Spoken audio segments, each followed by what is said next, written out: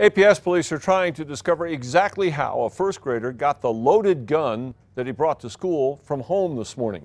The seven year old told a teacher at Helen Cordero Elementary in southwest Albuquerque that he had the gun in his backpack. She looked and sure enough there was a loaded 40 caliber Glock similar to this one in the backpack. APS sent a letter home to try to reassure parents.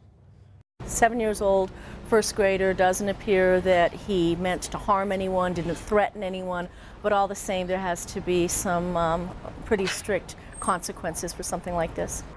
All right, as for consequences, the student may face long term suspension and other consequences. The gun was tagged into evidence, and a report has been forwarded to the Juvenile Probation and Parole Office.